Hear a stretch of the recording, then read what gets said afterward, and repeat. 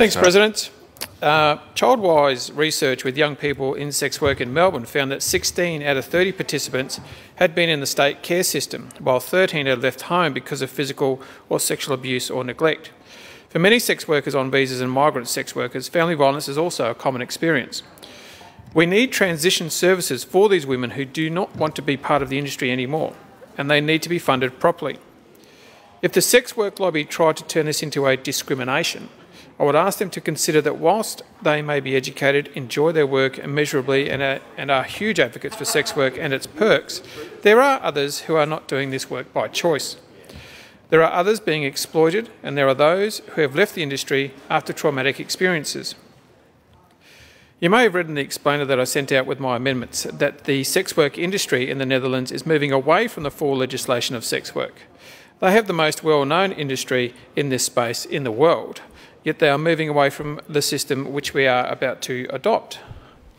Shortly after legalising the sex industry in the early 2000s, USA's Department of State ranked the Netherlands as one of the top five countries of origin for trafficking victims worldwide. Given this, it is not shocking to see the Netherlands moving toward uh, requiring all sex workers and sex work businesses to have a permit, as well as raising the age of legal prostitution to 21. They say, and I quote, a national register of sex business with a permit will be set up.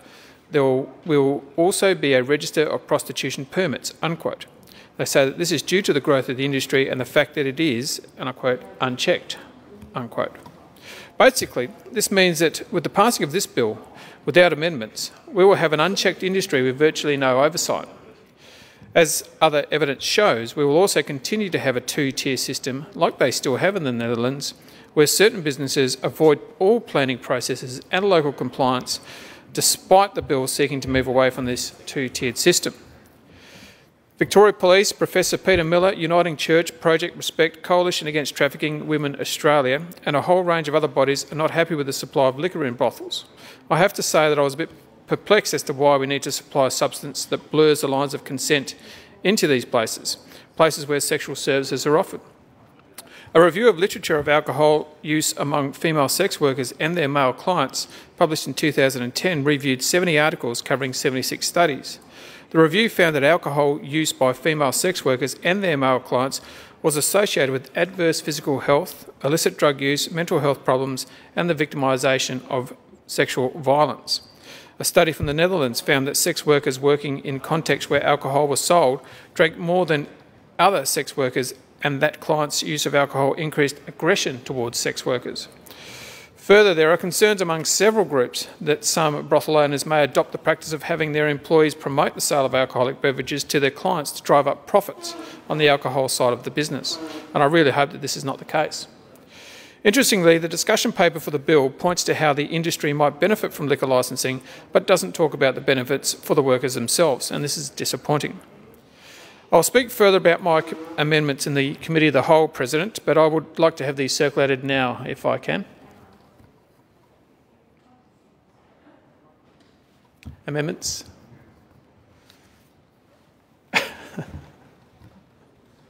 yeah.